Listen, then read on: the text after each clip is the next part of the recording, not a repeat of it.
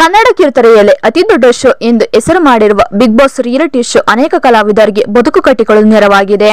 ಕೆಲವರು big boss ಮನೆಗೆ ಬಂದು ಹೆಸರು ಮಾಡಿದ್ದಾರೆ. ಇನ್ನು ಕೆಲವರು ಬಿಗ್ ಬಾಸ್ ಮನೆಯಿಂದ ಹೊರಬಂದ ಮೇಲೆ ಇನ್ನಷ್ಟು ಹೆಸರು ಮಾಡಿದ್ದಾರೆ.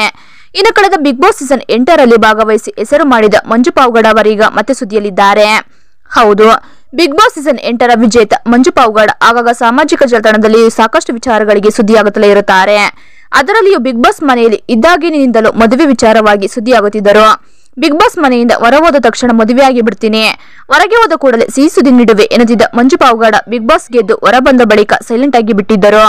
ಅತ್ತ ಸ್ನೇಹಿತರ ಜೊತೆ ಪಾರ್ಟಿ ಹಾಗೂ ಇನ್ನಿತರ ಶೋಗಳಲ್ಲಿ ಕಾಣಿಸಿಕೊಳ್ಳುತ್ತಿದ್ದ ಮಂಜು ಪಾವುಗಾಡ ಸದ್ಯ ಅಭಿಮಾನಿಗಳಿಗೆ ಸಿಹಿ ಸುದ್ದಿಯನ್ನು ನೀಡಿದ್ದಾರೆ.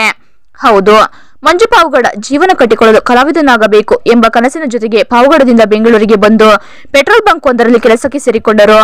ನಂತರ ಮಜಾ ಭಾರತ ಶೋದಲ್ಲಿ ಅವಕಾಶ ಪಡೆದು ಸಿಕ್ಕ ಅವಕಾಶವನ್ನು ಸರಿಯಾಗಿ ಬಳಸಿಕೊಂಡು ಹೆಸರಿನ ಜೊತೆಗೆ ಜೀವನದಲ್ಲಿ ತಕ್ಕ ಮಟ್ಟಿಗೆ ಸೆಟಲ್ ಆಗಿ ಕೂಡ ಆದರು.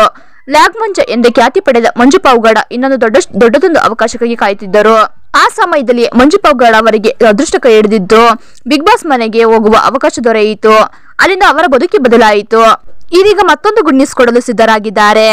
ಹೌದು ಇನ್ನೇನು, ಕೆಲವೇ ಕೆಲವು ದಿನಗಳಲ್ಲಿ ಕಲರ್ಸ್ ಕನ್ನಡದಲ್ಲಿ ಪ್ರಸಾರವಾಗಲಿರುವ ಅಂತರ್ಪಟ ಧಾರಾವಾಹಿಯಲ್ಲಿ ನಾಯಕಿಯ ಮಲತಂದೆಯ ಪಾತ್ರದಲ್ಲಿ ಕಾಣಿಸಿಕೊಳ್ಳಲಿದ್ದಾರೆ. ಇದು ಈ ಧಾರಾವಾಹಿಯ ಬಹುಮುಖ್ಯ ಪಾತ್ರಗಳಲ್ಲಿ ಒಂದಾಗಿದೆ ಎಂದು ಹೇಳಲಾಗುತ್ತಿದೆ. ಹೌದು ವೀಕ್ಷಕರೇ. ಹಾಗಾದ್ರೆ ಈ ವಿಡಿಯೋ ಇಷ್ಟ ಅನಿಸಿಕ್ಕಿಂತ ಪರಿ ಕಮೆಂಟ್ ಮಾಡಿ. ಹಾಗೆ ಶೇರ್ ಮಾಡಿ.